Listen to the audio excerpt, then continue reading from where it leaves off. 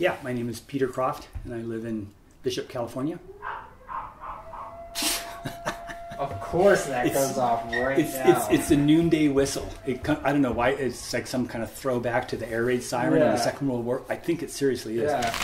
This one day, I went out climbing. I went soloing by myself. I was out at some cliff climbing all day long. I forgot to bring lunch. Climbed all day long, and I get back to Dave's place, and I'm just starving. And uh, I look in his fridge, and it's bachelor fridge, right? So there's old mayonnaise and crusty mustard jars, and not a hell of a lot else. And I'm like, oh man, I'm gonna have to go to the store, and I'm just so cooked. And I'm like, oh, I, I need to eat something just to get some energy, just to go shopping. So I looked in the freezer. There's a big thing like this of ice cream.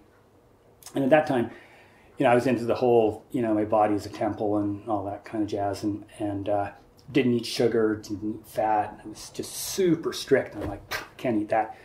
Slam the freezer door shut, and I sit there for a while. I'm like, "Ah, I need something. So I figure I'll just have a spoonful and that's like just eating one potato chip type thing, right? So I eat the whole thing, this container like this, down to the bottom, scrape the bottom, ate all the ice cream, and I do get a you know a burst of energy, and I go and I buy a ton of groceries for for Dave and come back to his place, but at the same time, just full of self-loathing. I'm just like I have polluted my body. I'm gonna feel like crap tomorrow.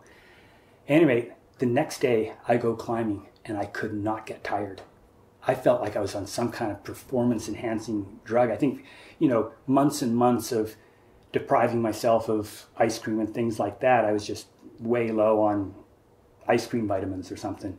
And it was like a drug. I mean, it's so anyway, that, that was something that, I, it was a takeaway from climbing out in Ontario was the idea don't be too neurotic about your diet. Just like, you know, every once in a while, just do something different.